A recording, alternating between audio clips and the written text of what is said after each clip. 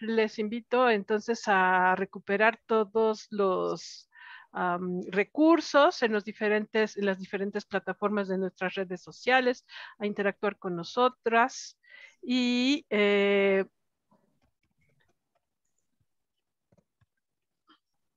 les pido como de costumbre que nos ayuden eh, cerrando los micrófonos. Aquí no silenciamos a nadie, ustedes son los que se gestionan. Todos los comentarios y las preguntas las pueden poner en el chat, las escriben por favor y las identifican para que podamos recuperarlas en el momento en que estemos en la sesión al final de la charla. Eh, les proponemos como de costumbre que hagamos de este un espacio respetuoso y propositivo donde todos los puntos de vista se pueden externar. Les recordamos que este es un espacio de reflexión abierto para las y los docentes que se propone desde un grupo de profesores profesoras independiente de la dirección y por lo tanto nuestros puntos de vista solo expresan nuestra visión. Les damos la bienvenida, el grupo de reflexiones sobre la enseñanza de las ciencias en escenarios diversos a esta charla. Y entonces les presento con mucho gusto a nuestra ponente, eh, Mónica Lucía Rodríguez Estrada, que es química por la Facultad de Química de la UNAM, maestra en Ingeniería Ambiental por la Facultad de Ingeniería de la UNAM. En la Facultad de Química es colaboradora activa del Grupo Gaia, y profesora de asignatura de teoría de la organización, socia fundadora del Grupo Multidisciplinario Integral SC, certificada en programas para empresarios, emprendedores y de desarrollo humano. Es especialista en proyectos multi e interdisciplinarios en temas ambientales como manejo sustentable del agua, diseño y construcción de humedales artificiales, cosecha de agua de lluvia, generación de biocombustibles a partir de vinazas y administración de proyectos. Entonces, con esta introducción le dejo la palabra a la profesora Mónica. Adelante, Mónica. Bienvenida. Muchas gracias, Aurora. Muchas gracias, eh, profesoras y profesores, por estar eh, aquí acompañándonos. Bueno, pues eh, vamos a empezar con este tema que hemos preparado los profesores del claustro de teoría de la organización.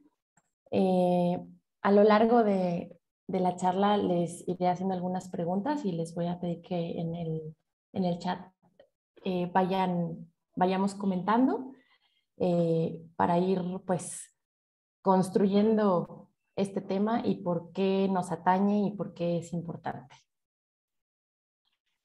Pregunta número uno, ¿cómo te sientes? ¿Cómo te sientes el día de hoy, profesor? Más feliz. Dígame, aquí en el, chat, ¿cómo, ¿cómo, te sientes? ¿Cómo se sienten? ¿Cansada? ¿Contenta y emocionada? Súper cansada, emocionada, excelente, con energía. Emocionados porque ya volvemos a clases presenciales, agobiada, excelente. Ajá. Todos los demás, emocionada por volver, contenta. Ajá, confiada, contento por participar en el seminario. Ajá. Ok. Muy bien. Pues estresada por acá, cansada, entusiasmada con la sesión de hoy. Perfecto. Muy bien. Estamos eh, bueno, la pregunta es, más correcta que decir cómo estás, ¿cierto? Cuando te encuentras a alguien, ¿cómo estás? Somos buenísimos para mentir todos los días. Bien, ¿no? Eh, si yo les pregunto cómo te sientes, entonces ya te puedo decir, no, pues me siento estresada, ajá, bien, y bien, bien no es una emoción, ¿cierto?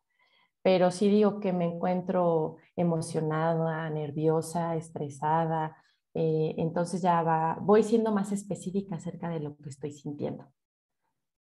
Dejen por ahí, este, por ahí apunten qué fue lo que, o tengan este, grabado qué fue lo que ahorita, ahorita me dijeron y más adelante lo vamos a ocupar. ¿Qué es la inteligencia? ¿Qué significa la inteligencia? ¿Qué es la inteligencia? ¿Cómo está definido?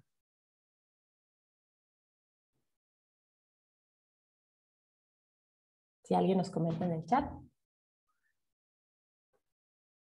Una capacidad.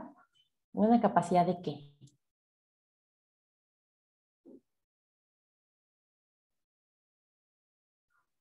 Habilidad para resolver problemas, ok. Una capacidad. Ajá, capacidad de aprender, capacidad de comprensión, capacidad de resolución de problemas generales. Pues sí, es, este, según la RAE, bueno, capacidad de entender o comprender, capacidad de resolver problemas, eh, conocimiento, comprensión, el acto de entender, habilidad, destreza y experiencia. Entonces, pues es algo que, podemos desarrollar, es algo que podemos practicar, es algo que, que podemos mejorar. Muy bien, entonces estamos partiendo con el pie derecho.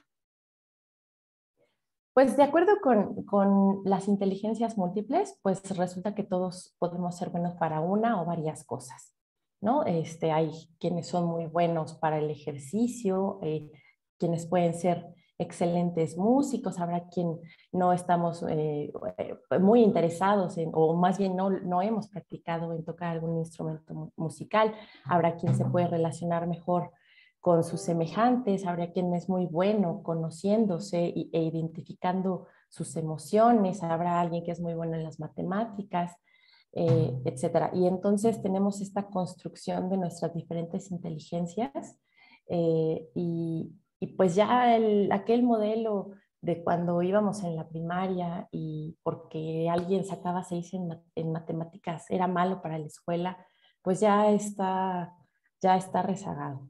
Ya, yo recuerdo mucho, les voy a contar rápidamente la historia de, de una amiga que sufrió mucho en la escuela, siempre sacaba seis en mate, nada que ver, español iba súper mal. Era una escuela, bueno, en ese entonces todo lo que eran artes no lo estaban fomentando mucho, entonces eh, estábamos muy inclinados al aspecto este, de las ciencias y eh, como tal, matemáticas, física, biología, y, de las sociales, ¿no? ¿no? Pero no había nada de artes. Y el dibujo, bueno, pues había ahí por alguna materia de dibujo y pues esta amiga la pasaba muy mal, ¿no? Hasta la corrieron. Ella terminó la preparatoria abierta y finalmente decidió estudiar diseño gráfico.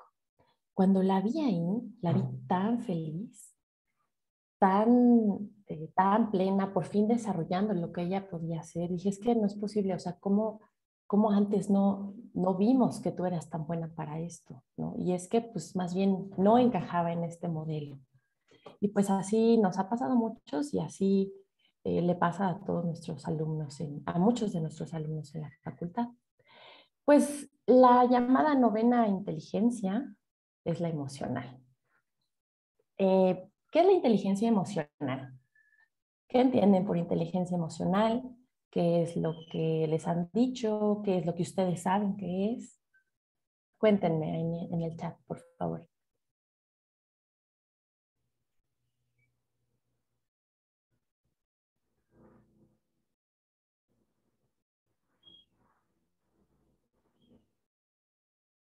La capacidad para gestionar nuestras emociones.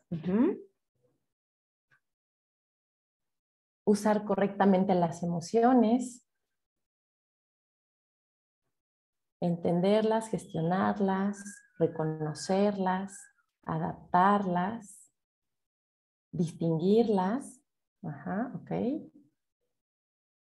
las nuestras y las de los demás, ser empático con mi interlocutor, comprender, expresar, solucionar, ajá, la capacidad que tenemos de gestionarlas, reconocerlas, regularlas. Ok. Pues sí, ¿no? Paso número uno. Entenderlas. Eh, las nuestras, ¿no? Entonces la capacidad, ay, capacidad de percibir y controlar. Eh, a nosotros en teoría de organización nos gusta más eh, utilizar la palabra gestionar o manejar más que controlar los propios sentimientos y saber interpretarlos de los demás.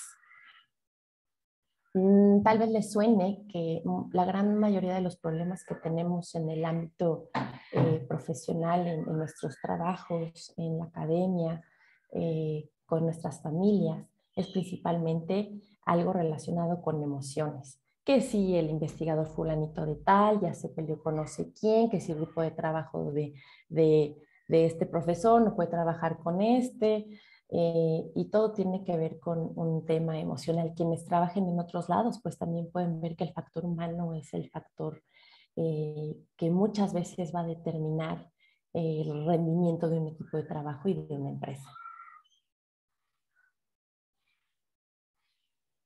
Ahora sí, ¿qué, es, qué, es, ¿qué son las emociones?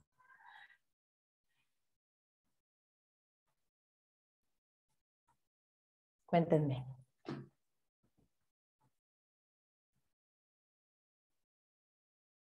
Por acá, Rolando nos cuenta, reconocer y gestionar asertivamente nuestras emociones, hablando de qué es la inteligencia emocional.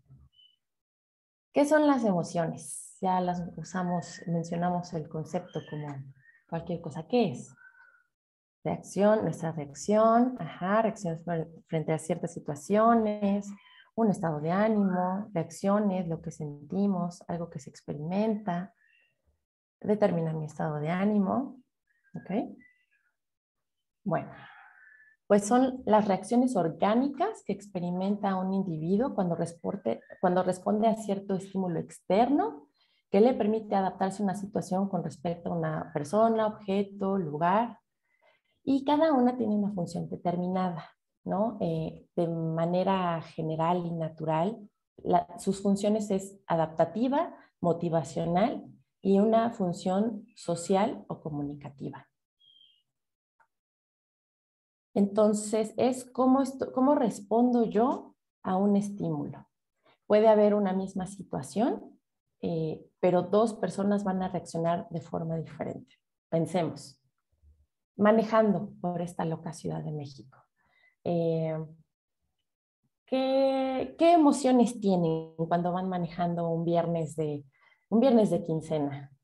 Y ahora ya, ya el tránsito está bastante normalito. Entonces, eh, ¿cómo, cómo, cuéntenme, ¿qué emociones tienen? ¿Cómo reaccionan ante este, las habilidades y destrezas de los conductores de la Ciudad de México? Mucho preocupada y estresada, enojo, ¿ok?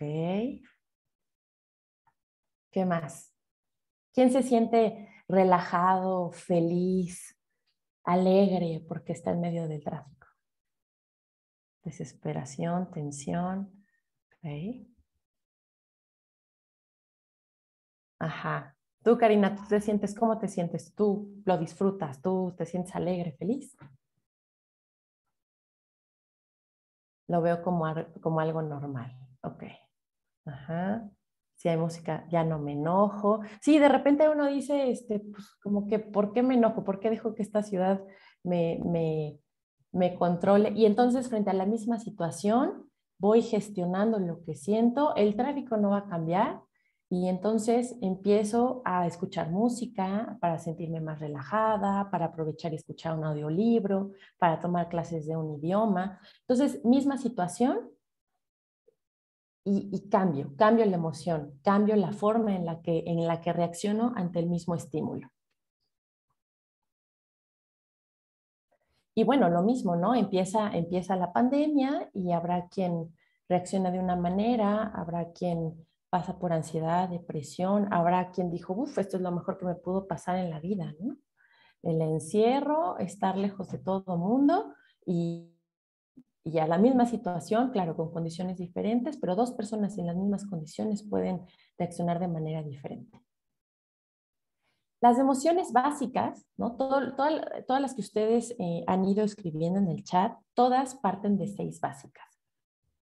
Tristeza, sorpresa, alegría o felicidad, desagrado, asco, enojo o ira. Y miedo. Es importante que estas las tengan por ahí apuntadas y registradas porque todo aquello que podamos nosotros sentir o nuestros alumnos o las otras personas va a tener como eh, su la emoción básica va, a estar aquí inmersa. Y entonces, pues sí, el paso número uno es cómo me siento y cómo lo defino. Y tenemos este, este círculo de Robert Plutchik, donde en el centro tenemos las seis emociones básicas y entonces ya hacia los lados vamos teniendo eh, este desglose de, emociones. Entonces, busquen por ahí la que ustedes me dijeron cuando van manejando y aquella cuando, eh, cuando empezamos, ¿no? ¿Cómo te sientes hoy? Por ahí había quien dijo estresado. Ah,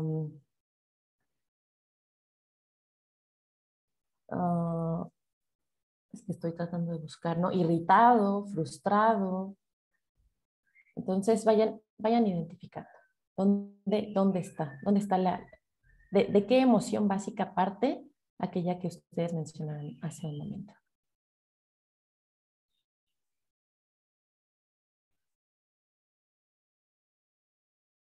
Muy bien. Ahora, ¿Cómo se sienten sus alumnos?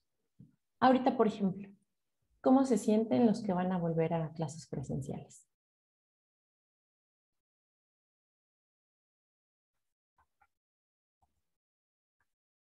Nerviosos, felices,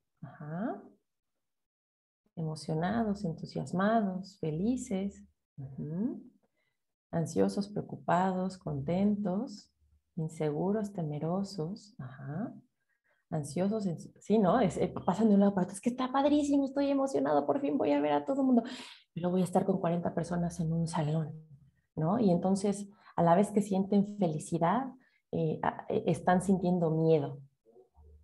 Y nosotros mismos, ¿no? Así como, híjole, ahora tengo que salir a las 6 de la mañana de casa, este, tengo que hablar con el cubrebocas puesto, cómo me van a escuchar, empiezas a sentir preocupación, te empieza a dar ansiedad y entonces pasamos por todo un círculo de, emociones. Y entonces de, estas emociones va a ser cómo, ir, cómo vamos a ir reaccionando, cómo nos vamos a sentir en clase, cómo nos vamos a readaptar. Tenemos que pasar por todo un proceso de readaptación. Y entonces, así como nos costó el encierro, nos va a costar mucho, eh, o más bien, o vamos a ver cómo le hacemos para adaptarnos y para que nos cueste lo menos posible y para disfrutarlo. Y bueno, eh, esta lámina la, ponemos porque eh, cuando en el, en el ámbito laboral, cuando se elige a las personas que van a, entrar en una empresa, a un proyecto, el 80% de, de, la decisión tiene que ver con eh, las habilidades eh, emocionales. ¿no? Eh, como sea lo técnico, lo racional, lo cognitivo, se puede capacitar, se le puede enseñar a alguien un nuevo proceso, se, se, le manda cursos, pero no se le puede enseñar o es, no es tan sencillo o se tiene que invertir mucho más recursos, más tiempo en el trabajo emocional. Em, no sé si anda Alex por aquí, pero bueno, por ahí él es el que, el que conoce bien estos datos de las bolsas de trabajo y qué es lo que las empresas están buscando en los alumnos. Y es importante que nosotros lo, sepamos, porque si bien es muy importante eh, dominar ciertas áreas de la química, aprender lo mejor posible, también es muy importante que los chicos y nosotros mismos sigamos desarrollando nuestra parte emocional, porque al final, eh, pues no va a importar si los chicos acabaron en nueve semestres, si tuvieron siete o diez de promedio, eh, los criterios de selección no van a tener que ver con tanto Sí, claro que tienen que ver, pero, pero va a pesar mucho esta parte del saber ser más que del saber hacer.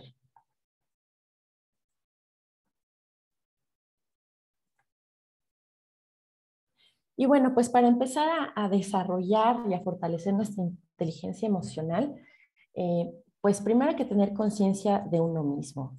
¿Cómo soy? Autorreconocerme me conozco, me reconozco, ¿no? Diría yo, conozco mi parte luminosa y mi parte oscura. Este, acepto que, soy enojón, que soy voluble, que, de repente me agarra la ira. Eh, la conciencia social, ¿cómo son los demás? ¿Cómo, ¿Qué hay atrás de lo que una persona me está diciendo? Una persona que me está gritando este, en su coche porque, pues porque, pues nada, porque me la atravesé y me metí antes que él. ¿Qué hay atrás de esos gritos y de esas groserías que me está diciendo? ¿no? Pues hay miedo, hay frustración, hay ansiedad, eh, ¿no? E, es importante que podamos reconocer qué hay detrás de esas emociones. La autogestión, cómo gestiono mis emociones, cómo ante el mismo estímulo me encargo de cambiar, cómo es que eh, empieza el semestre y, podemos lograr que nosotros mismos y que los chavos no lleguen tan desgastados al final. Y, pues tal cual, ¿no? Que, la, carrera es de, resistencia, de disciplina, de resiliencia, más que de, rapidez y de, pues es, difícil ver un chavo que llegue entero a final del semestre. Y pues la gestión de las relaciones, cómo me relaciono con los demás, cómo, son mis, mi, cómo es mi interacción con los otros. Y ahora, bueno, em, ya como herramientas, vamos a, les voy a mencionar unas habilidades básicas para, para, desarrollar la inteligencia emocional y vamos a hacer igual unas preguntas para, para que podamos platicarlas aquí entre nosotros. Entonces, bueno, está la inteligencia intrapersonal que tiene que ver con mi persona, con mi autoconciencia, mi autorregulación y mi motivación, y la interpersonal, la empatía y mis habilidades sociales, ¿no? Cómo me relaciono conmigo y cómo me relaciono con los demás. Aquí están las, cinco habilidades básicas eh, que define Daniel Goleman. Y primero está la autoconciencia. Estas, estas presentaciones las van a tener este, a la mano, pero bueno, les pido por favor que, que si pueden ahí apuntarlo o tomarle una foto. Eh, la autoconciencia tiene que ver con esta percepción, conocimiento de nosotros mismos. Voy a pasar a la siguiente. La de autorregulación, el control de las emociones y de los impulsos, el manejo del estrés, ¿Cómo le hago para, para de un estado de completo estrés regresar a mi centro? ¿no?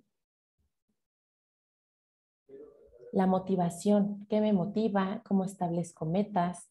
¿Cómo desarrollo confianza? ¿Cómo soy persistente, resistente? La empatía, ¿no? Con respecto al otro, la comprensión de las emociones y las perspectivas ajenas,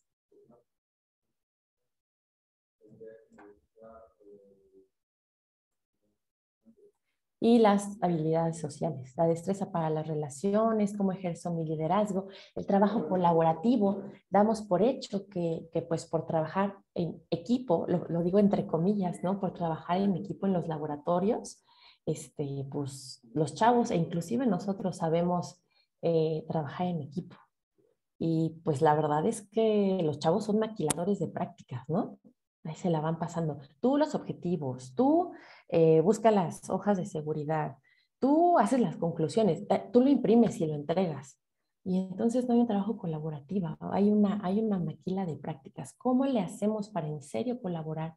¿Cómo le hacemos para, para aprender de esta manera que los chicos em, estudien juntos?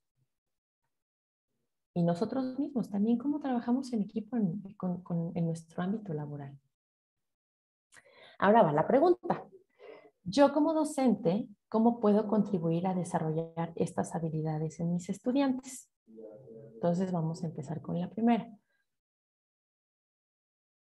¿Cómo, cómo puedo hacer para, para contribuirles a que ellos eh, se autoconozcan, tengan conciencia de lo que están sintiendo. Aquí, ah, pues no sé, yo creo que podríamos, eh, si me permiten Wendy y Aurora, podría participar alguno de los profesores. ¿Podemos abrir micrófono? Adelante, adelante. Aquí si quieren lo podemos gestionar con, si quieren levantar la mano o si, solo por si, para que no se nos alboroten. Sí, si alguien desea participar, sí, por favor ayúdenos aquí levantando su mano para que puedan participar de viva voz. Alguien que se anime, los elegimos al azar. No, no, alguien que se anime, alguien que se anime. Guillermina, por favor. Sí. Bueno, este, pues yo, por ejemplo, puedo platicar lo que ahorita he hecho con mis alumnos. Em, pues a mí, bueno, yo antes lo que hacía era pues un poco platicarles y, ah, eh, tratar de concientizarlos, pero siento que para mí no es tanto este, estar hablando, porque en realidad eso pues ellos algunos tal vez no, no lo acepten, ¿no? O algunos sí, como que siento que no funciona mucho. Yo entonces lo que aparte hago es, este, pues sí, les hablo un poquito de lo que es trabajo en equipo, les menciono esto de que este, no es esto de dividirse las cosas y al final cada quien eh, armarlo y, queda un Frankenstein ahí, ¿no? Eh, pero aparte yo es como un proceso que voy haciendo diario, ahorita pues llevamos apenas pocos días, pero eh, yo he visto que sí ha funcionado. En primer lugar, por ejemplo, les he pasado unos videos este, donde son películas, ¿no? Películas chiquitas donde, este, bueno, no son parte de la película, ¿no? Eh, pues ahorita no se las puedo platicar todas, pero son de películas que han pasado en la televisión o en el cine y, y algunas sirven para este, ejemplificar cómo se trabaja en equipo. Una fue de básquetbol, este, y de cómo a este entrenador eh, lo, pues lo quieren correr, pero al final los alumnos mismos lo defienden y se dan cuenta que trabajar en equipo es mejor. Y otro que les pasé apenas fue este, en la, de la India, donde está un árbol caído, este, los carros, este, todos empiezan a enojarse y que no pueden pasar y eh, y luego eh, lo que pasa es que un niño, y está lloviendo, y un niño del autobús se baja y empieza a querer empujar el, el árbol solito y, y, mientras todos están peleándose o gritando, enojados, luego se dan cuenta que a pesar de que está lloviendo, el niño está ahí tratando de empujar el árbol y se empiezan a bajar y al final todos eh, se ayudan y logran quitar el, el árbol, ¿no? Y, y, bueno, después de eso yo les pregunto a ellos qué, qué, qué piensan, qué opinan del, del video, qué, qué sienten y, y, un poco eso creo que me ayuda a ver si, este, si tienen conciencia de o qué tan avanzada está la conciencia de trabajo en equipo y, y si ven ellos la importancia de trabajar en equipo. Y este, juegos, este, ahorita pues como estoy en línea no puedo hacer esos juegos, pero sí hacía yo este, uno que nos enseñó la maestra Aurora, que es de, este, ah, no me acuerdo cómo se llama, de palillos que se pasan entre varios y si y se, se cae, este, pues eh, tiene que volver a repetirlo, pero es como hacerlo en conjunto todo, ¿no? Y eso es parte de lo que he estado haciendo, es lo que quería yo platicar. Y yo creo que pues hay más actividades, ¿no? Que se pueden hacer y que pues es lo que quiero aprender. Muchas gracias. Guillermina. Pues estas actividades que nos acabas de describir pues tienen que ver con las habilidades sociales y, de trabajo colaborativo, ¿no?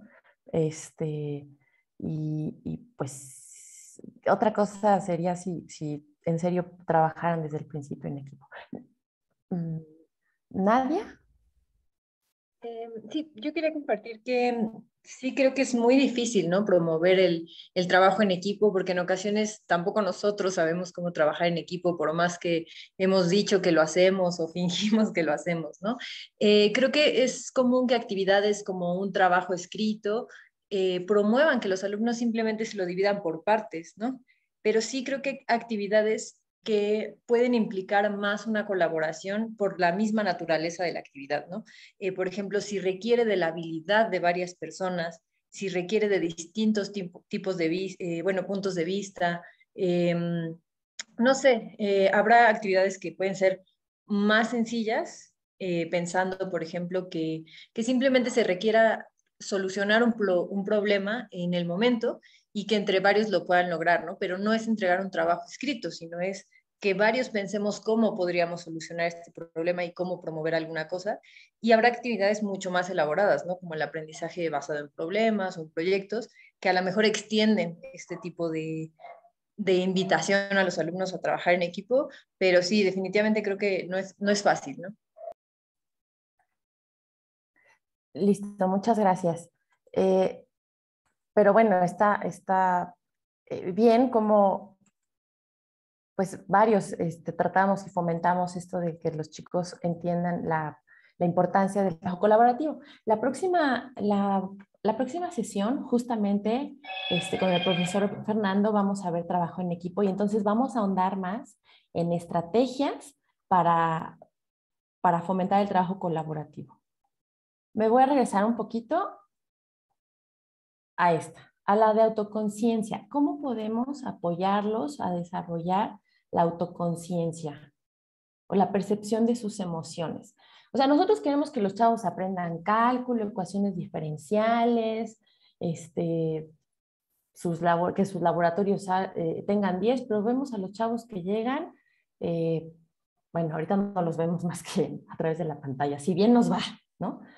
Ah, y, pero, pero ¿cómo ayudamos a fomentar que identifiquen cómo se están sintiendo y cómo, tiene, cómo esto afecta su aprendizaje? El profesor José Román tiene alzada su manita. Hola, bueno, pues yo creo que la condición necesaria es precisamente ser nosotros conscientes en primera instancia de nuestras emociones. Eh, difícilmente los vamos a poder ayudar en reconocer las emociones que ellos tienen si nosotros no somos capaces de reconocer las nuestras. Y pues la inteligencia entendida como una, un potencial eh, sabemos que se desarrolla como las otras inteligencias con la práctica y con los recursos. Entonces, para, desde mi punto de vista, es muy importante que nosotros para fomentar el desarrollo de su inteligencia emocional, acercarlos a los recursos y, a las prácticas que hacen que se agudice esa sensibilidad que ellos tienen y que les permita mejorar su interacción inter eh, intrapersonal. Eh, muchas gracias. Pues justo acabas de tocar un punto súper importante, ¿no? Yo no le puedo pedir a los chicos que identifiquen sus emociones ni que las regulen si para empezar yo no lo hago. Entonces empiezo conmigo y entonces ya puedo seguir con, con, con mis alumnos o con la persona que tengo enfrente o eh, yo no le puedo pedir a, mi esposo o a mis hijos que, manejen su estrés y que se calmen si, si yo voy alterada se los, se los pido, ¿no? Entonces, ah, paso número uno, eh, hacerme consciente de mí. Entonces, más bien la pregunta sería, pues, ¿cómo le hago yo para, para saber, para, tener más conciencia de cómo me estoy sintiendo, de cuáles son las emociones que tengo y si sí me conozco? Esa va pregunta para todos, ¿no? O sea, si ¿Cómo, ando yo en esto? Y, por ende, ¿cómo, ¿cómo, les pido que las regulen? ¿Cómo les pido que sea eh, final de semestre y no estén estresados? ¿Alguien que tenga eh, alguna idea? ¿Cómo podemos fomentar esto? Por acá decía Chimba, podría ser haciendo esta pregunta al inicio de la clase, ¿cómo te sientes hoy? así, pero dime en serio cómo te sientes, ¿no? Con que los chavos digan, no, pues hoy estoy estresado, no, pues estoy frustrado, no, pues, este, el simple hecho de hablarlo, de socializarlo y tomarnos cinco minutos de la clase para eso, pues igual ya bajamos un poco el, eh, esa tensión y entonces el proceso de aprendizaje puede ser mejor. Puede ser, ¿no? Y también, bueno, otra cosa que yo empecé a hacer y creo que también funciona, nos lo dijo la doctora Perla y la verdad lo estoy haciendo, es este, en todo momento, desde el inicio a veces lo hago, pero noté que a veces se les hace como que ya muy mecánico, que todos los días les preguntaba cómo se sienten, como que ya lo tomaron así a veces como que como, no sé, ya no les importaba, ¿no? Entonces ahora lo que hago es que sí, aparte este, de hacerlo algunos días, de preguntarles cómo se sienten, siempre este, durante la clase les pregunto, ¿qué sentiste al, hacer esto? Y yo lo, así varío las personas, ¿no? Y al rato otra vuelta, otro ejercicio, ¿y qué te pareció? ¿Qué sientes? ¿Qué opinas? Entonces, eso también creo que ayuda mucho, como nos lo dijo la doctora Perla, que ellos estén en todo momento autorregulando sus, em, viendo qué sienten, ¿no? ¿Qué sienten? Y yo también me doy cuenta lo que sienten cuando les pongo una actividad, eh, lo que, que hagan en clase, este, entonces estarles preguntando constantemente durante la clase, ¿qué sentiste? ¿Qué, qué todo sobre, no, eh, para que estemos con, eh, siempre haciéndolos, este, que se les haga una práctica, que en todo momento estén pensando o sintiendo en todo lo que hagan, ¿qué sienten? Eso es lo que creo. Muchas gracias, Guillermina. Antes que yo está, Balbina, por favor. Buenas tardes a todos. Eh, lo que hago cuando empieza la clase, ¿no? sobre todo porque tengo varias clases de laboratorio y entonces la clase es cada ocho días, es justamente eh, iniciar saludándoles, ¿no? Y pues empiezo yo, como decía, platicándoles cómo estuvo mi fin de semana o el resto de la semana en lo que yo los veía y sí les pregunto de cómo se sienten, si tienen alguna situación que, que, que se les haya atravesado, ¿no? Por ahí cuando tuvieron que resolver la tarea o la práctica. Y muchos sí de pronto manifiestan, ¿no? Es que tuve que llevar a mi mamá a la vacuna o cualquier otra situación, empiezan a, a, platicar, empiezan por las situaciones y luego como un poco a decir cómo se sienten. A otros no, sin embargo, sí piden eh, quedarse un momentito al último de la clase y muchas veces sí comparten cómo se sienten, ¿no? Y también darles como esa confianza de que en cualquier momento pueden abordarnos como profesores. Yo nomás de pronto les digo, eh, tengo toda la mañana ocupada, sin embargo, por la tarde puedo platicar con ustedes. Y sí, muchos eh, se acercan ¿no? para platicar y, y decir, tengo un problema en casa económico o falleció eh, algún familiar, la mamá, el papá, y, de esa manera, pero empieza todo en clase, ¿no? Preguntándoles cómo, cómo se sienten. Gracias. Oh, bueno, adelante, Wendy, ahorita. Yo ya no quisiera ahondar, pero me gustaría complementar un poquito esto de yo qué hacía antes, ¿no? Eh, y la, para mí la situación de estrés del alumno es el, el examen, ¿no? Entonces, en el examen Sí, antes de que los hacía que acomodaran las bancas, los estresa un poco y después ya que se sienten, a ver, respiren, ¿no? Es decir, relájense, ya pierdan el miedo. Y ya cuando yo sentía que ya tenían su examen, ya tienen así todo, léanlo, eh, atendemos, digamos, las dudas que hubiera sobre la redacción, algo que no comprendan. Y durante el desarrollo del examen, entonces yo les daba, les iba pasando lugar por lugar y les daba un dulce. Entonces, eso, digamos, eh, el simple hecho de abrir el dulce y el ruidito y lo que sea, tienen la distracción de que paso junto a ellos y el llevarse un dulce a la boca como que los hace que pierdan un poco el sentido del, miedo que tenían al inicio, ¿no?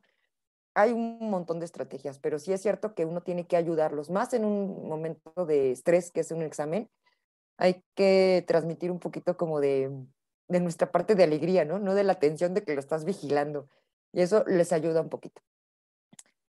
Listo. Eh, por ejemplo, ahora, gracias Wendy, nos comenta el profesor Rolando, yo a veces comparto cómo estoy yo, sin transferir lo que me toca, pero acostumbrarlos a que podemos reconocer lo que nos pasa, a que no nada más somos un número de cuenta, a que todos tenemos problemas en casa, a que en el transporte eh, pudo habernos pasado algo, a que a lo mejor veo y nos mojamos y, y que es válido, es válido sentirse triste, deprimido, estar contento, estar eufórico, estar enojado. Eh, por acá nos comenta, dedico 10 minutos al final de la clase para que se hagan conscientes de su respiración y emociones. Eh, por acá nos, nos comentan a Lilia, yo no sé qué hacer con sus respuestas. Algunos eh, tienen emoción fuerte. ¿Solo los escucho o, me, o qué más puedo hacer? Pues justo lo que podemos hacer es, o sea, escucharlos, simplemente escucharlos, que ellos tengan un oído, que ellos digan, híjole, pues es que el profe pues me preguntó cómo me sentía y eso les puede cambiar el día y la semana y digo, yo sé que tenemos 40, 50, 60, 70 alumnos, este, pero siempre va a haber alguien que nos va a buscar y nos va, nos va a, contar cosas. Entonces, eh, el simplemente escucharlos creo que eh, les, ayuda, les ayuda mucho. Decir, hay veces que te cuentan algo y dices, mira, sinceramente no te entiendo, pero pues yo estoy aquí, este, pues solo para escucharte y, espero que esto mejore. Eh, y ya, eh, simplemente no, no somos especialistas este, en, en, este trabajo de emociones. Entonces, basta. No sé, Alex, si por aquí nos puedas hacer algún comentario al respecto, no sé si este, tengas chance. Hola. Eh, sí, pues básicamente aplicar la escucha activa. ¿Qué es la escucha activa? Pues prestarle atención eh, plena en ese momento. Y la recomendación en todo caso sería una canalización. Hay algunas instancias que puede ser aquí mismo en la facultad o bien eh, ya en algún momento se compartió algún directorio justamente que surgió por la condición de la pandemia, que también es una de las condiciones que podrían realizar. Muchas gracias. Por acá ahorita nos, la profesora Dora nos comenta, eh, hay técnicas que pueden abonar esta regulación como meditación, atención plena, cómo me siento, un diario de emociones. Ah, hablando de eso, a ver, antes de que e, aquí les, ah, bueno, no sé si nos dé tiempo de ver un video, pero primero voy a compartir esto. Entonces, eh, lo, primero es, la inteligencia es una habilidad, no es un rasgo. Entonces, las podemos aprender, la podemos mejorar, la podemos desarrollar. Eh, y, esto tiene que ver con nuestra neuroplasticidad. Uh, esperen, ahorita regreso a esto. Entonces, ah, Ahorita si tenemos tiempo, eh, quiero que veamos un, video de este señor Richard Davidson. Él es un neurocientífico que lleva muchos años estudiando, en vez de estar estudiando qué es lo que genera el estrés, la ansiedad, está, él lo ve desde el otro punto de vista. ¿Qué es lo que genera la empatía, la compasión, la resiliencia? Eh, qué es lo que genera el bienestar en las personas. Y él lo dice, y, muchos otros eh, estudiosos de la mente y de las emociones, que, que, es posible eh, educar, bueno, desarrollar nuestro cerebro para que sea más resiliente en ese sentido. O sea, podemos... podemos sentirnos tristes, sin embargo, si tenemos este, este entrenamiento, por ejemplo, a través de la meditación, con cierto tipo de terapias, está demostrado que el estado de bienestar es mucho más duradero que alguien que, que, no tiene este tipo de, prácticas de atención plena. Eh, um, un segundo, déjenme ver los comentarios. Mm, no sé, Dorita, si quieras comentar algo.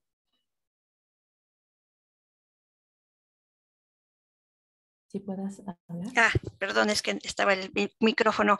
Sí, en efecto, eh, mucho de esto vamos a hablar algo de autorregulación emocional en, una de las últimas sesiones, pero a final de cuentas sí es, es importante, sobre todo para aquellos profesores que tienen eh, eh, clases de tres horas, dedicar así como algunos minutitos para que los alumnos puedan empezar a, manifestar este tipo de técnicas. Puede ser a través de la escritura, puede ser a través de las cuestiones orales o incluso el, mindfulness que a mí me parece una técnica muy, muy, muy padre porque enseñamos a los, a los estudiantes que se enfoquen en algo. Y eso hace que, su cerebro haga diferentes conexiones a las que no están acostumbrados por esta tecnologización de, las situaciones que siempre a los que a lo que están acostumbrados en su día a día a estar siempre en esta dinámica del celular de ajá y cuando los centramos en ellos mismos y en sus propias emociones, en su día a día y en su, en su respiración, por ejemplo, que es uno de los elementos, empezamos a hacer que ellos empiecen a darse cuenta que pueden desarrollar diferentes procesos. Incluso con el mismo mindfulness pueden desarrollar procesos como la atención, concentración, que son procesos tan importantes para el aprendizaje. Entonces, este, sí podríamos empezar a, meter algún ejercicio que puede durar dos minutos, tres minutos y, eh, en donde el alumno empiece a bajar sus, niveles de estrés a partir de esta respiración. Muchas gracias, Dorita. Em, entonces, ah, ¿qué hacemos? Wendy, ¿te parece? Vemos el video, dura cinco minutos y ahorita regresamos a las preguntas. Sí, yo creo que incluso podríamos, eh, si alguno de los participantes aquí tiene una pregunta, que aquí ya tengo una de Laura, que dice que si nos puedes dar un ejemplo, pero yo creo que sí, a lo mejor sí el video nos permite y estructurar incluso nuestra propia pregunta para poder participar en la segunda sesión. valdría la pena que la fuéramos escribiendo en el chat eh, mientras vemos el video. Por favor, sí, adelante. Listo. Entonces, eh, lo que voy a hacer es que les voy a compartir también el link en caso de que, de que haya problemas con la conexión o alguien ahorita no tenga tan, tan buen internet. Eh, denme un segundo. Ya. Le, les pongo el link de YouTube en el chat y yo voy a compartir el, el video directamente desde, desde YouTube.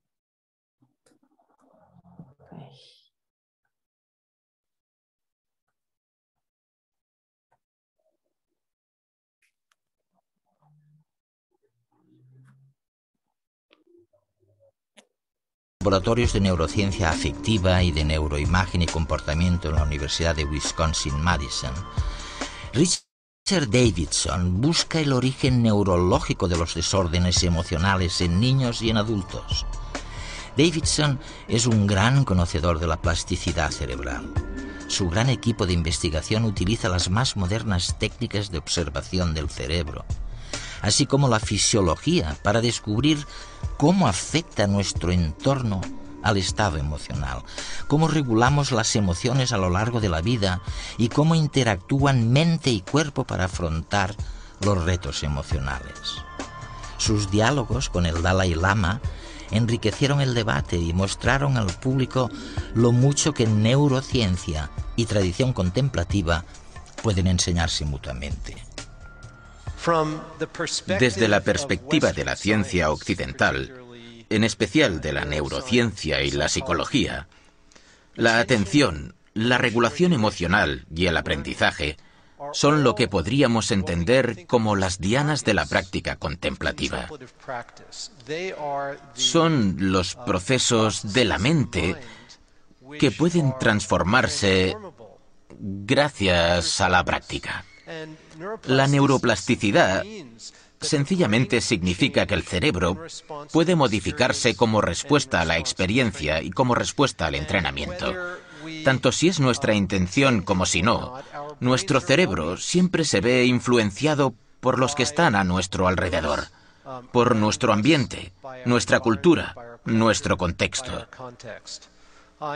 Creo que uno de los mensajes de este Congreso es que podemos ser responsables de nuestro propio cerebro y crear el tipo de condiciones y el ambiente que sustenten el desarrollo de cerebros sanos en nuestros hijos.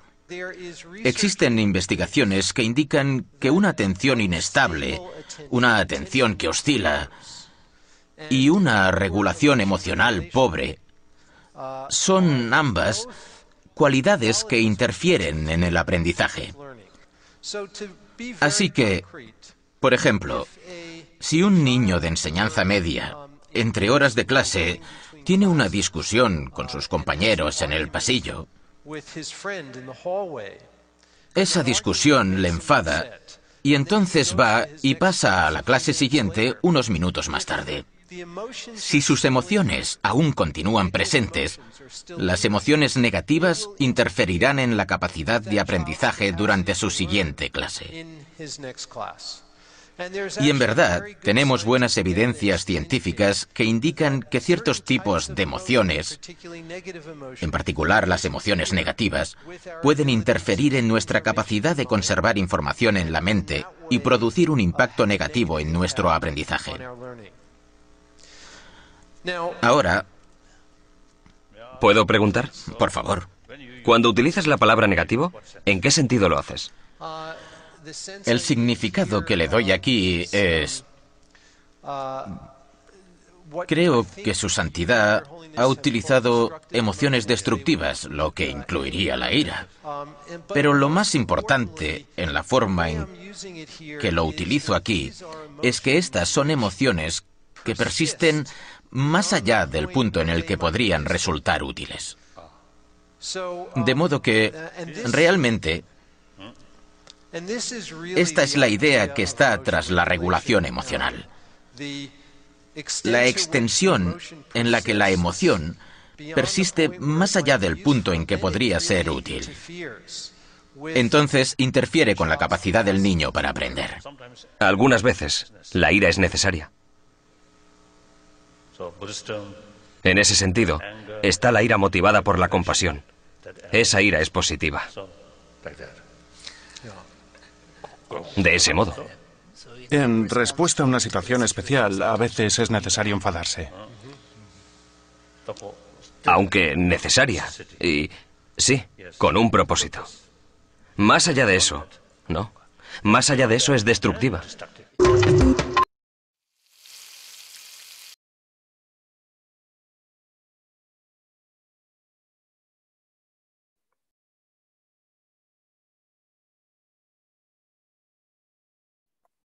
Listo. Eh, entonces, bueno, ah, el objetivo de, compartirles el video es eh, como eh, da como algunas claves que tienen que ver con sus investigaciones y cómo efectivamente nuestro aprendizaje está directamente, bueno, está muy relacionado con, con cómo, cómo estamos en ese momento, ¿no? Si estamos de malas, nosotros lo sabemos, estamos de malas, estresados, pues muy difícilmente podemos trabajar y, rendir adecuadamente en, nuestras actividades este, intelectuales. antes de pasar a las preguntas, no sé, maestro Eugenio, si nos pudiera compartir un poco su experiencia con el mindfulness. Es, es, este, indirecta, es a través de, este, de mi hija que sí ha estado practicando, este, se usa, bueno, se ha estado usando mucho ya en, donde está ella y ella sí me ha comentado que es excelente precisamente para. Incluso me comentaba que algunos eh, gentes las usan para terapias, este, de, hay gente que ha tenido problemas físicos y otro tipo de situaciones, también lo usan con bastante éxito. yo digo, yo no lo he practicado, pero sí les paso el link que me, ella me lo recomendó, entonces creo que sí vale la pena ahorita que sacaron el tema. Y, bueno, ya que estoy hablando, nada más quisiera comentar otra cosa. O sea, hay un psicoanalista muy famoso que se llamaba Bruno Bettelheim, eh, norteamericano, que falleció y decía que eso de cuando llega un estudiante estresado o, con problemas al salón, a veces son problemas que para nosotros como que dicen, Ay, pues qué problema puede ser este, pero para una persona, por ejemplo, incluso hasta la muerte de un familiar, este, la muerte de una mascota, incluso, pues una, una, cosa que le está sacando de concentración en esos momentos. Entonces, no, como que, pues no, no, eh, su vida está girando en esos momentos, su parte emocional, como dices, en torno a ese problema, no tanto en, en la clase. Eso yo creo que, bueno, es un comentario de un psicoanalista muy bueno, muy este, famoso, de Bruno Bettelheim, ¿no? Muchas gracias. Ah, sí, perdón. No, sí, pues. ok, entonces, muchas gracias por, por, compartir. Bueno, como dice, en este caso es una experiencia indirecta. pero bueno, ah, lo que eh, aquí, aquí, un poco es dejarles como estos links y estos, eh, esta gente que se dedica a estudiarlo para, para que vean que no, no es nada más que, ay, es que dicen que la meditación es buena, sino que ya hay, hay estudios, hay fundamento.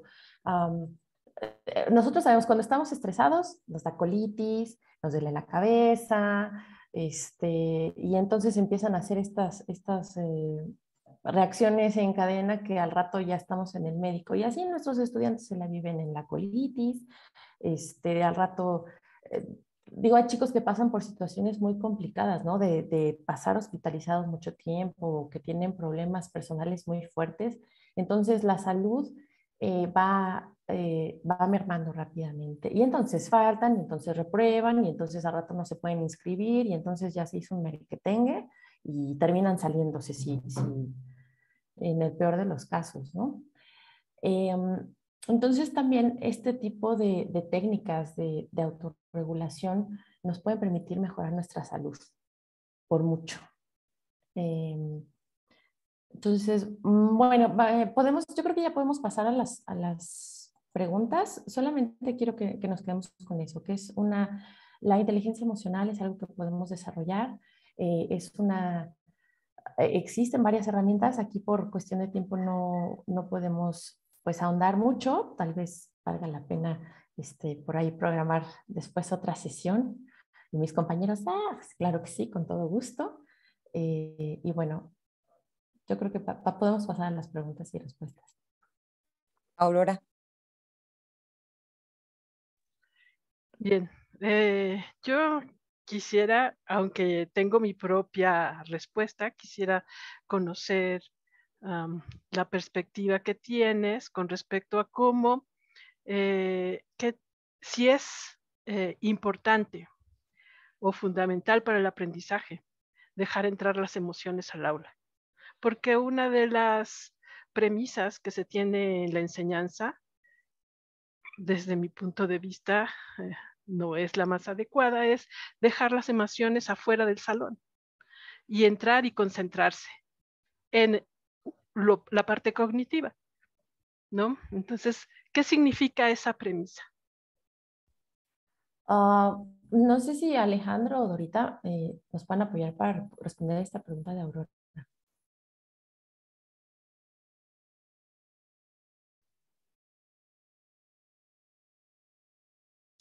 Bueno, eh, si quieren yo tomo la palabra. Eh, hagamos una, una analogía. Eh, cuando nosotros compramos una calcomanía, nos dice que para pegar la calcomanía hay que tener la superficie limpia y preparada para eso. Si nosotros no limpiamos, no, no tenemos la superficie bien, es probable que el, la calcomanía no termine de adherirse. Y esto es un poco la idea de esta parte de las emociones. Eh, en ese aspecto, quizá por eso la recomendación de tratar de que el alumno llegue con la mayor limpieza posible para que se adhiera el, el aprendizaje pero imposible no separarnos de las emociones. Por eso siempre se habla de manejo de emociones y no de eliminación de emociones. Entonces hay que encontrar ese punto medio, me parece, sería la, la respuesta que yo daría. Sí, y, y, es que, perdón, adelante, No, dale, dale. Y es que en este sentido, pues la, emoción es básica. O sea, ahí yo, yo siempre digo que el otro 50% en el aprendizaje es la parte emocional de los estudiantes, ¿no? La parte de ese manejo de las emociones. Porque como decía yo, podemos tener las mejores estrategias de aprendizaje, podemos tener a los alumnos más inteligentes, eh, con, con IQs elevadísimos, pero si el alumno no está motivado, pero si el estudiante no tiene esa actitud positiva ante lo que quiere aprender, entonces yo creo que va a ser muy difícil que lo pueda hacer. Entonces no nos podemos desvincular, no podemos llegar directo. Aquí nos vamos a, solamente a dirigir a la parte cognitiva, a la de las a la, cuestión de habilidades y el ejercicio de todos estos procedimientos y hacemos a un lado las emociones. No se puede, es como, lo, como se decía en el video, esta parte es fundamental para que el alumno tenga esta disposición de entrarle a, esta cuestión cognitiva. ¿O tú cómo ves, Aurora? bueno, si me dejan, si me dejan yo nada más, eh, es que yo quería poner esta pregunta en la mesa porque para mí es fundamental. Eh, el salón de clases es un espacio fundamentalmente emocional. Es decir, nosotros no podemos pretender que los estudiantes aprendan si no reconocemos que son en principio individuos con emociones y nosotras y nosotros somos también individuos emocionales.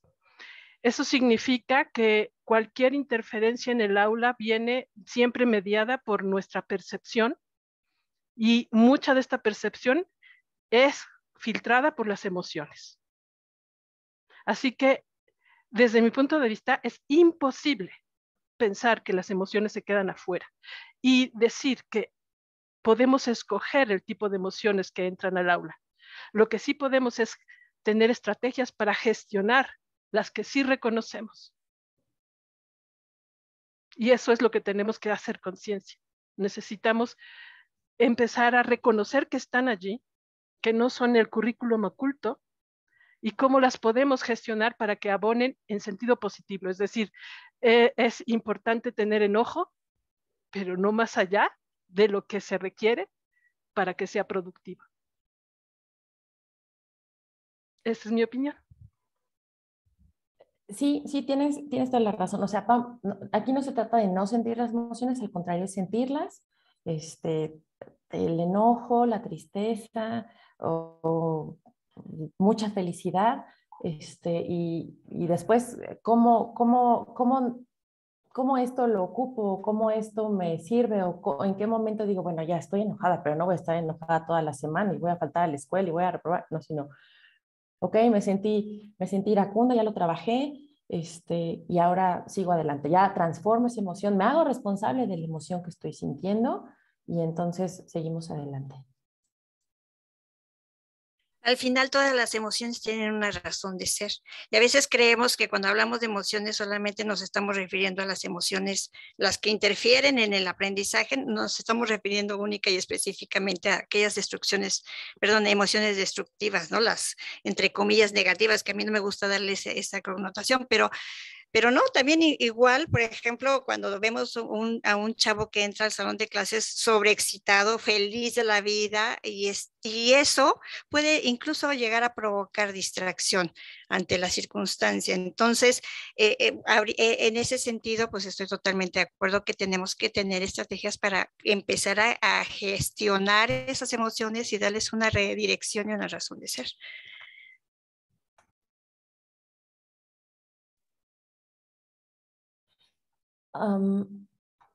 Por aquí, bueno, había, nos pedía eh, Wendy Laura, ya la perdí.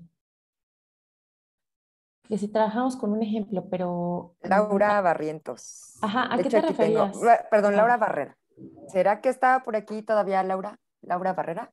Ajá, para decirnos, uh, ejemplo, bueno, es que nos quedamos muy atrás. Un ejemplo de qué.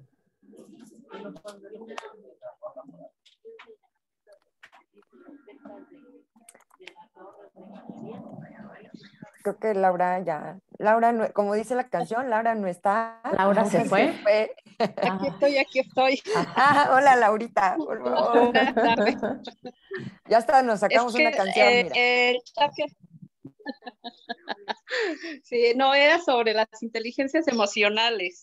En ese, por eso pues, este, e, se me ocurrió que en algún ejemplo pudiéramos como que vivirlo así como que algo que plantearan ustedes que se vive en el, en el aula y lo pudiéramos como abordarlo, porque eh, en estas situaciones que estamos viviendo yo veo muchísima apatía en los alumnos.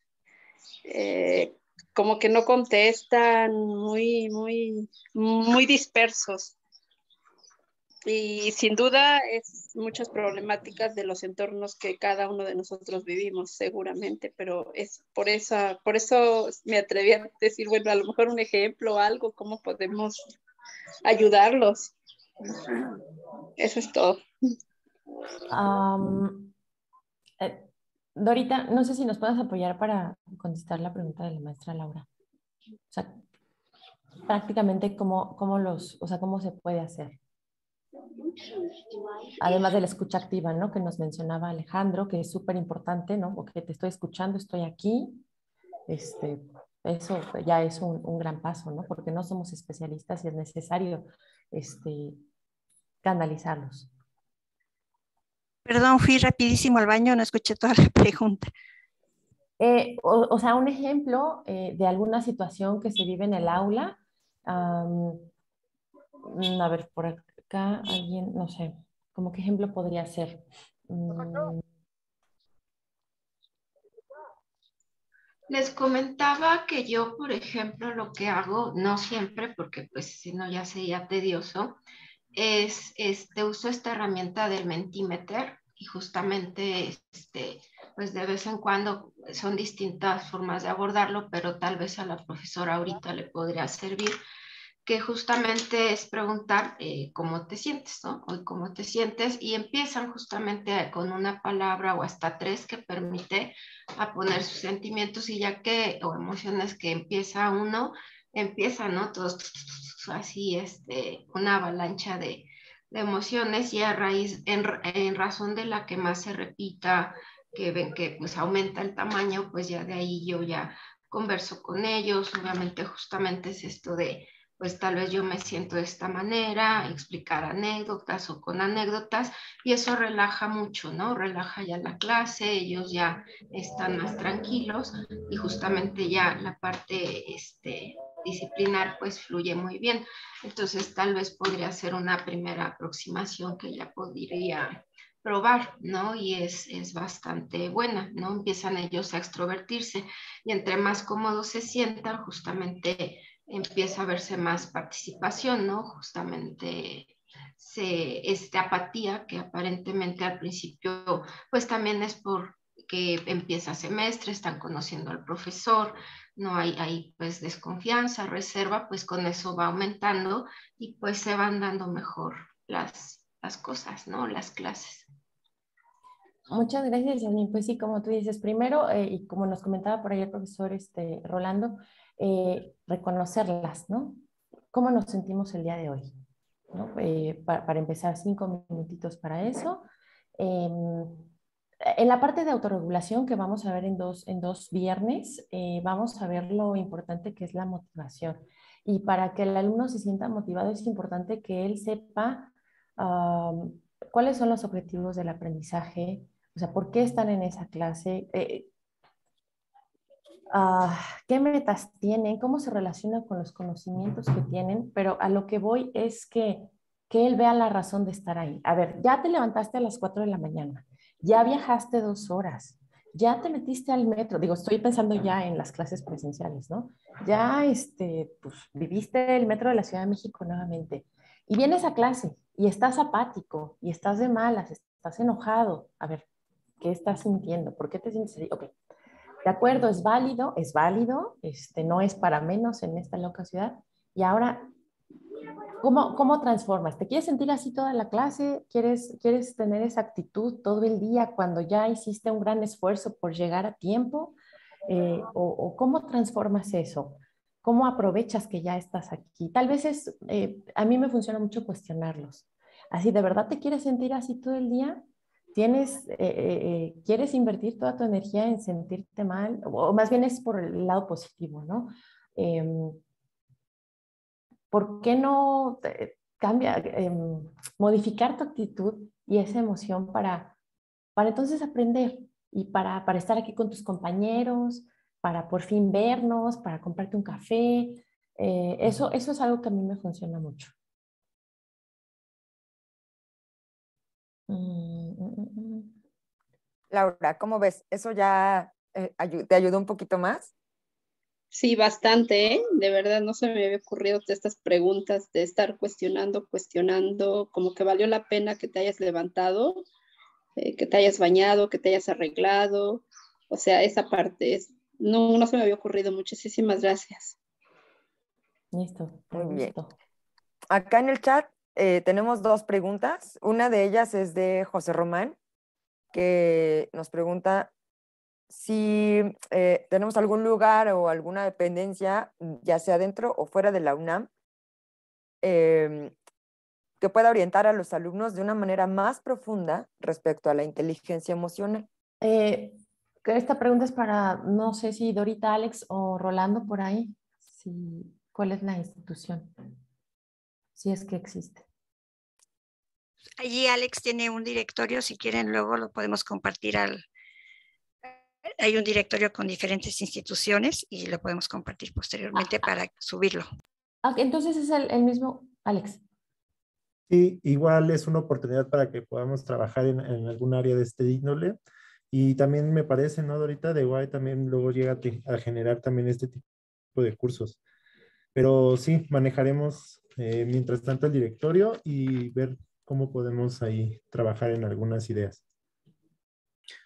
Y solo hacer una diferencia entre esto de cómo pueden profundizar en el manejo de, o en la gestión de sus emociones es una cosa y otra cosa es cuando un estudiante o una estudiante eh, solicita un servicio eh, psicológico, ya más para gestionar no solo sus emociones, sino ya quiere ser derivado a un servicio psicológico, digamos, profesional. Ahí está el directorio que propone Alex, que por ahí compartimos en el chat.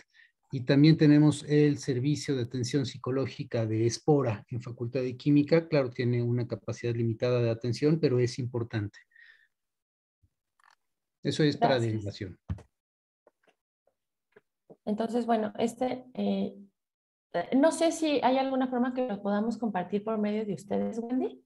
Sí, eh, de hecho lo voy a poner en el blog, en el WordPress, lo acabo de compartir en el mismo grupo de Facebook, o sea, ya lo pueden, si están en el grupo de Facebook, ya lo pueden consultar, es el que nos mandó Rolando. Y eso hay que es, eh, así como veo, es información de la facultad, digamos, es información institucional que pueden utilizar nuestros alumnos y que podemos compartir sin mayor problema de nosotros hacia ellos, ¿no? Porque sí, una de las cosas importantes aquí, que creo que es un, por ahí hubo un comentario en el chat, y es que a veces nuestros alumnos se acercan a nosotros pensando que nosotros podemos ayudarlos. Y creo que ahí sí, eh, a veces sale de nuestro control. Si bien podemos hacer la escucha, a veces ellos quieren una solución y no está en nuestras manos, ¿no? Eh, lo más que podemos hacer sí es escucharles y pues a lo mejor invitarlos a que tomen eh, algunas de las opciones que la facultad les ofrece. Eso sí. Y yo aquí eh, levanté mi mano, no me, no me autodí la palabra, pero ahora ya me toca. Eh, una de las cosas que, que yo sí mm, quisiera, digamos, abordar un poquito en cuanto a la, al comentario que hizo Aurora, ¿no? Esta, esta pregunta, y es que también quisiera retomar eh, espero no mentir, ¿sobre quién? Sobre Balbina, me parece que fue la que hizo la, la observación al inicio, esto que compartió con nosotros. Ella decía, yo llego y les platico cómo estuvo mi fin de semana y demás. Y es que si nosotros como docentes tenemos como parte de nuestra labor, digamos, nuestra labor es transmitir el conocimiento, es yo, o sea, espero que, que, que, no me lo tomen a mal, pero yo creo que el alumno también aprende de nosotros la primera emoción con la que llegamos. Si nosotros llegamos enojados, tristes, o sea, no podemos evitarlo, somos personas, es una realidad.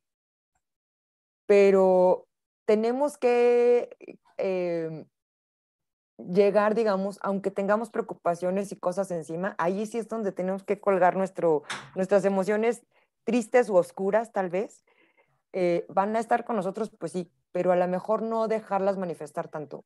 Tal vez sí compartir con ellos, me siento triste, perdí mi gatito y hacerles saber que estamos tristes, pero no mantener esa tristeza en el, en el aula, ¿no? Hay que transformarla en motivación. Si el alumno nos ve motivados, es un poco como que la sonrisa se, se contagia, ¿no?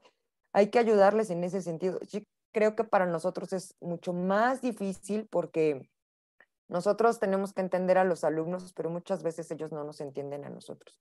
Entonces, tenemos que, creo que ahí la gestión de emociones por parte de nosotros tiene que ser muy, pero muy, muy estricta. Y ahí es, yo creo que donde yo personalmente diría, ¿cómo le hago? O sea, yo trato de mantenerme motivada, ¿no? Pero ¿cómo le hago cuando de verdad estoy muy triste, cuando de verdad estoy muy cansada, cuando estoy muy estresada? No transmitir esas emociones hacia mis alumnos. ¿Cómo le hago? Ayúdenme. Creo que vamos a necesitar el, seminario 5 para, para poder ya trabajar en este, como bien específicas y ejercicios este, para poderlo trabajar en nosotros. O sea, eh, va, a ser, va a ser necesaria, ¿verdad, Alex y Dorita? Me encanta porque es así como de continuará, ¿no? Así de espera, espera, está bien, me voy a esperar. Es, como esa parte de los actores que manejan y, cuando, cuando tienen alguna emoción triste y que tienen que salir al, escenario, ¿no? Y es ese control que deben de, tener para poder hacer a un lado esa tristeza y, poder enfrentar lo que tienen que enfrentar en el escenario. Así pasa también igual con, con nosotros los profesores, es a través de una serie de técnicas empezar a tener ese control y, y, si, eh, por ejemplo, perdón que lo vuelva a repetir, pero esta parte del mindfulness y la atención plena eh, son, son maravillosos. Este, ya lo voy a tocar yo en, en autorregulación, pero, pero sí es, es, es empezar a, acostumbrar a, a, mi, a mi cerebro a que cuando lo necesito estar en tranquilidad, lo pueda estar. Pero no, no es nada más así de que haya es todo un proceso que tengo que ir acostumbrándolo y por eso con el ejercicio cotidiano de este tipo de, de, metodologías, puedo yo ir acostumbrando al cerebro a que haga nuevas conexiones y pueda yo ir autorregulando esas emociones, pero no es así de la noche a la mañana, sino es todo un proceso que ya vamos a platicar en dos viernes. Muchas gracias, Dorita. Maite. Ahí está. Hola, buenas tardes a todos. Gracias, doctora Wendy, doctora Aurora y doctora Mónica. Hola. Esta, que no sé si se escucha. Bien, yo lo que quizás comparto con, con, algunos de ustedes que lo han mencionado, eh, sería recomendable un curso de gestión de emociones, primero para el área académica, porque cuántas veces, incluso nosotros siendo alumnos, cuántas veces nos tocaba un maestro que eh, se emocionaba por nuestra participación, pero también incluso se molestaba cuando éramos apáticos o no resultaba la clase o la evaluación como estaba esperando. Entonces, desde ahí, ¿no? Incluso cuántas relaciones eh, académicas laborales se han roto por ese impulso de alguna de las partes. Entonces, yo creo que sería necesario primero empezar eh, con el área académica para que reconociendo eso, lo podamos compartir y transmitir a nuestro entorno. Gracias. Gracias, Maite. A mí me encanta. Eh, Rolando, ¿es posible? Es posible. De hecho, hemos organizado anteriormente algunos cursos de gestión de emociones hacia los tutores, sobre todo en el plan eh, tutorial. Este, es posible, es necesario y pues hay que hacerlo. ¿no? Ya, propongan TDOs el, el curso y lo, y lo abrimos. Ok. Gracias, maestro, doctor Rolando. Nos organizamos pronto, pronto, en un par de días. Muy bien, muchas gracias. ¿Alguna otra participación? ¿Alguien más? ¿Alguna pregunta que tengan por ahí? Bueno, no sé. Adelante, adelante, Maite. Gracias. Y le comentaba a la doctora Mónica también que, eh, de acuerdo a la experiencia que he tenido, quizás no eh, ahorita actualmente clases frente al grupo, pero sí tesistas, servicio social y estancias, se nota cuando alguna situación mm, no es sencilla para el alumno, considerando las herramientas emocionales que tiene en ese momento. ¿ok? Y que teníamos nosotros. Yo creo que mucho parte de que hay que ser empáticos.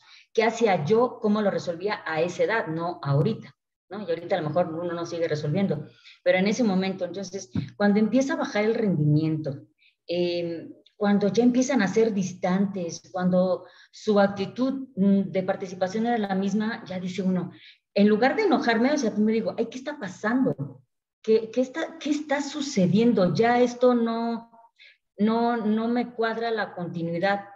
Y entonces cuando surge la oportunidad, que por ejemplo de ver avances o algo, pues lo primero que pregunto es, ¿está pasando algo que te está impidiendo avanzar? Y entonces ahí ya es cuando empiezan a sentirse en confianza y empiezan a liberar. ¿De qué me he enterado? De abortos espontáneos, eh, eh, tratamientos oncológicos, divorcios, transiciones, el mismo COVID los pone así. Y entonces, como a varios ya les ha dado, lo que hago es hacer un grupo como de contención y decirles, a ver, no va a pasar nada, ¿ok? Tranquilo, mira, tus compañeros ya salieron adelante eh, y, y canalizarlos, porque uno no puede resolver. Uno trae sus propios problemas emocionales que tenemos que resolver como para todavía resolver los demás. Lo único que sí podemos compartir y canalizar. Mira, aquí está, si es psicológico, si es de enfermedad, si es de esto. Y, y entonces eso pues baja un poquito la tensión y además también le comentaba a la doctora Mónica que eso sí comparto porque eso a mí me funciona. O sea, les digo, todo va a ser urgente y todo va a ser importante y todo siempre se te va a venir encima. Empiezas a resolver por fechas. ¿Cuál es la fecha más próxima? Y además también por las deficiencias que uno tiene de conocimiento en esa área. Entonces, así vas resolviendo, porque es como cuando uno entra a casa, ¿no? Bueno, no sé quién hace el aseo, pero de repente la ves así, dices, eh, primero, para evitar que se te ponga así, pues hay que hacer el aseo continuo. Segundo, a ver, ¿por dónde empiezo? ¿No? Entonces, antes de desesperarte, ay, pues tienes que empezar por algo. ¿ok? Entonces, es, esas son mis, mis recomendaciones y algo de lo que me ha funcionado, pero sí hay que ser muy empáticos porque los chicos no, no la tienen fácil. Y, además también empezar, por ejemplo, con las estancias. Eh, yo inicio con, les reconozco el continuar avanzando en su formación académica considerando eh, la modalidad en línea. Es un reconocimiento es, eh, para ellos, porque bueno, a mí no me tocó y no sé qué hubiera pasado si a mí me hubiera tocado estudiar en estas condiciones. Gracias. Y a nosotros dar clases así. Sí, además. Muchas gracias, Maite. Pues sí, en este caso, pues tienes tú ya como ciertas herramientas como para poder este, decirle a los muchachos, ok, la cosa va por aquí, la cosa va por allá, ¿no? Pero este, pues sí necesitamos como todos una capacitación de cuál es la vía. Por lo pronto tenemos estos directorios para un este, bote pronto. Eh, pero bueno, iremos planteando más este, cursos y capacitaciones para para tener más herramientas y saber a dónde podemos ir canalizando a los muchachos. Y nosotros mismos, ¿no? También, este, dónde andamos. Primero nosotros, después todos los demás, ¿no? Bien, ya aquí em, algunos ya tienen la necesidad de irse, este, entonces sí, vamos a ir cerrando en ese, en ese sentido. Por aquí les dejé, en cuanto a lo que mencionaba Maite, eso de cómo nos organizamos. La semana pasada tuvimos nuestro eh, nuestro seminario de administración del tiempo, aquí comercial para Matus. Tenemos el anterior, por ahí les puse la paginita de YouTube, que es el canal de YouTube donde tenemos alojados nuestros videos. Todas las sesiones anteriores han sido grabadas. Entonces, si no han tenido oportunidad, eh, si se tuvieron que retirar, no lo ven completo, entonces ahí está. Si lo quieren volver a ver, también, ¿no? Entonces ahí está, ahí les dejo el, el canal. Y les cedo la palabra a Aurora para que nos apoye aquí en el cierre. Muchas gracias, Wendy. Muchas gracias, Mónica, por eh, ponernos ahorita tan conscientes eh, de lo que significa eh, pues la inteligencia emocional, las emociones. Mm, como preponderantemente hemos estado discutiendo emociones fuertes, emociones que tienen que ver con eh, problemáticas importantes que quizá vienen desde nuestras casas, en nuestros contextos personales. Sin embargo, y eso es lo que yo eh, pienso que va a abordarse después en los seminarios eh, más adelante con Dorita, por ejemplo, todas esas emociones que tienen que ver con la propia gestión del aula, ¿sí?